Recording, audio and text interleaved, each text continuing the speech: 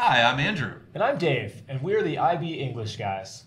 And today we're going to talk about writing about opinion editorials. Oh, I love writing, Mr. Giles. I'm excited okay, about this. Giles, give me a little reminder. This isn't the first time we've talked about op-eds. Remind me of what we've done. That's right. We've done two previous videos that are really important that you watch because we break down the features of opinion editorials and opinion writing, but we also look at Leonard Pitts, this incredible opinion writer, as a as a great author and a body of work. We love Leonard Pitts. He's helped us become better at reading op-eds, and he's helped our students become better writers as well. Okay, now when we looked at op-eds, Mr. Giles, we did use a mnemonic device to help us remember the key attributes and elements of op-eds. Aunt Vera, are you here? Aunt Vera's making an appearance. She is here. So here we go. Honor Aunt Vera because she requires care and love. All right, let me go. Honor Aunt Vera because she requires care and love. I got it. All right, it works. awesome. What do That's these things stand for? Okay, the H is for headlines and hooks. The A stands for anecdotes or stories. Yeah, the V is voice. The B is background or news. S is structure, how it's put together. The R, of course, is the reader connection.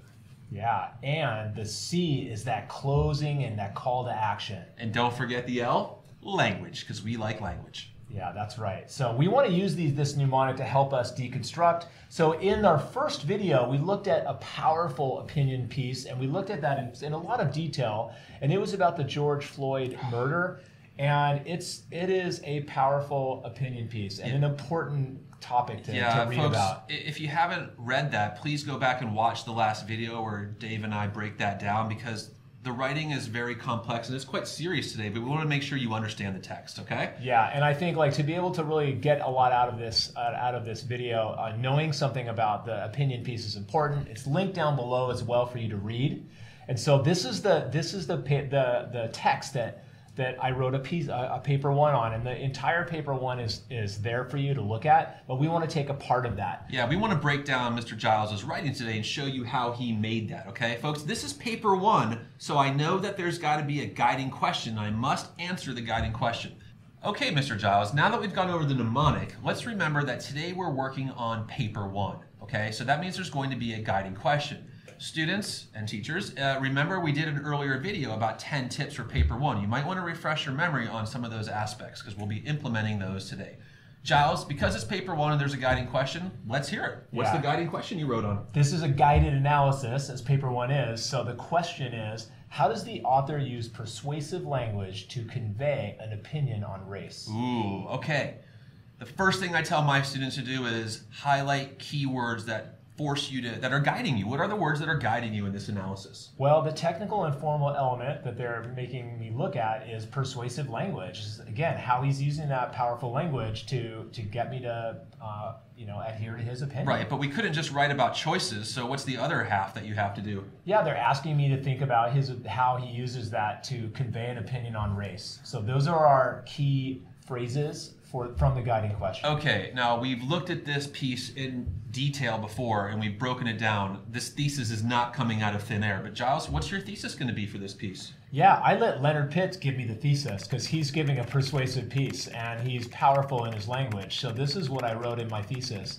I said, in his opinion article, Leonard Pitts uses language effectively to suggest that the eternal frustration and anger of African Americans regarding systemic racism has reached a breaking point. That is an impressive and insightful thesis. Okay, uh, I love how you've linked into the, the key aspects of the question. The word language is there. You definitely have an important so what, and I think it's insightful. It, really tells me Pitts' opinion and kind of where this piece is going. Okay, now Giles, that's a good thesis. I like that, but that's not all the way through. How are you going to organize this paper? Yeah, that was one of our tips. Is that you come up with a, you look at the guiding question, then you got to make a plan or an outline. So I had to think about, okay, what are the ideas that I want to talk about? All thinking about the persuasive language, but trying to connect to ideas. So I made a very simple outline. So you can see that outline here. I talked about the history of racism and the references to Martin Luther King. Then I'm going to talk about that frustration and anger then I'm going to move on and look at the, the background on George Floyd, what he says about that. Then I'm going to have that link to Colin Kaepernick.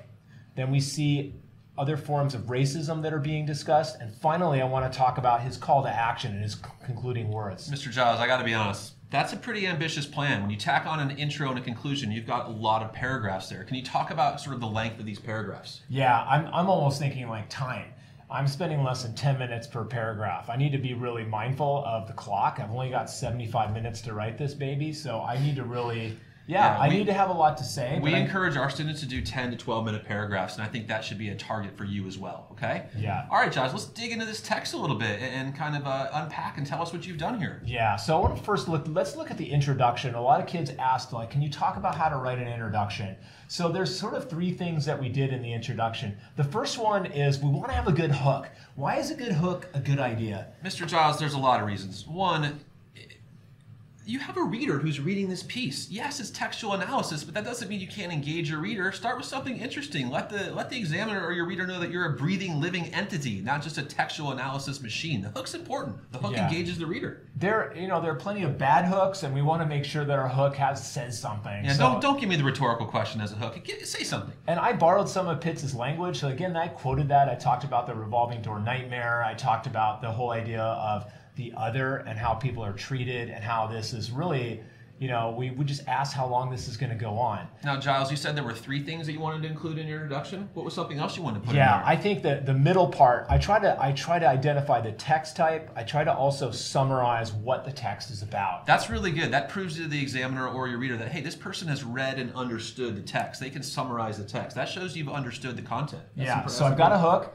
I've got a summary, and then finally I want to end with a really strong thesis that captures the the technical and formal element, but also connects to that sort of main argument or main claim of the text. And if you notice, he did say global issue for a minute, and that's a common mistake we see in our Yes, students. Remember, is. global issue goes to the IO. It does not go to the paper one, and that's okay. It happens to the best of us. Stand Okay? corrected. All right, Giles.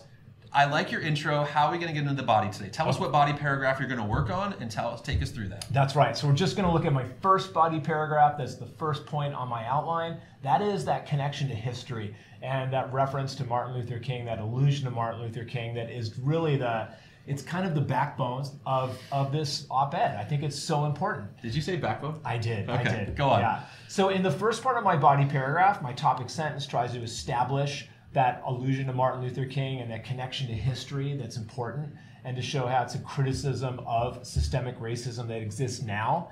And then I talked about the black and white image that I saw. I also I talked about the direct quotation um, from Martin So, Mr. King. Giles, I notice uh, there's three different colors of highlighting here. I see yellow, blue, and orange. Can you talk a little bit about the highlighting and why you've made those choices? Yeah, so when I look at the yellow is really those the technical and formal aspect, that use of persuasive language, the techniques of the text. So that would be time for you to look down and you see a nice list of persuasive terms. That's where he's getting that yellow language from. Well, what's happening with the orange, Giles? Yeah, the orange is any reference to the author. I want to think about author's choices, so I want to put Pitts in in the driver's seat a lot of my sentences. Folks, I've said this many times and I'll say it one more time. Don't talk about the text. Talk about the how the author uses the text to push a message. Very different. I love that, Giles. And lastly, talk about the, the blue. What is yeah, the blue rec- the blue the textual references when I'm quoting the text. I want to quote the text often, so if you look at my sample highlighted paper, you'll see that blue is kind of lit up. Yeah, and all these highlights go right to the criteria. Continue, Mr. Giles. Take us through the paragraph. Yeah, so my next section is really looking at his his word choice and that sort of lexical cluster of words that relate to religion.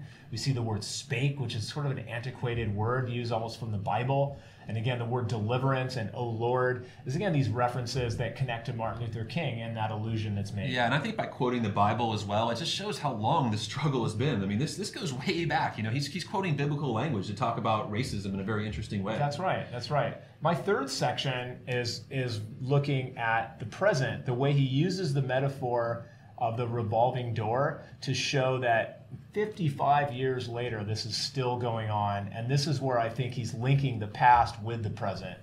Yeah, and I really like the way you unpack that metaphor and tell us how, what that means and what it represents, and, and definitely talking about what the list signifies to the reader. It signifies the plight and the never-ending, seemingly, struggle for, for equality among African Americans or the other. Yeah, so there's a couple of takeaways from today's video. I think I think the first one is when you think about a paper one, you've got to keep that technical and formal element in your mind. You got to also make a plan and an outline and have an idea of what your what your plan is going to be and try to execute that. You got to keep those things in mind while you're writing and make sure you're talking about the technical aspects quoting the text often, talking about author choices. It seems like a lot to manage, but when you get used to it, you get into the flow, you can really, I think you can really unpack Yeah, the text so really our, our students really understand this highlighting system and they highlight all of their papers. It really ensures that they're focused on the rubric and really meeting the expectations of the task, okay? Yeah. We hope you highlight too. yeah. Folks, we hope this writing video has been helpful for you. We kind of really want to just peel back the curtain and show you what we're trying to do when we when we craft these responses. Okay. Uh, again, if you like the content, subscribe. Let us know what you want to learn about. We're here to make videos for you always. Okay. Uh, thank you for watching and have a great day. Bye, Bye everyone.